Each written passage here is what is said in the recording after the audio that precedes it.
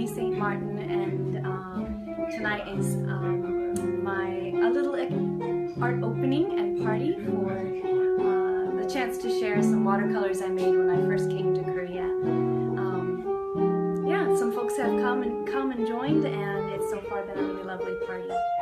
I'm really thankful everyone could come.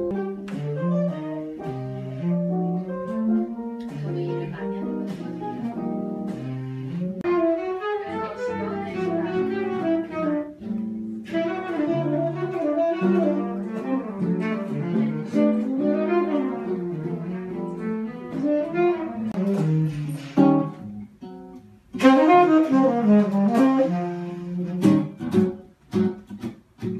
you.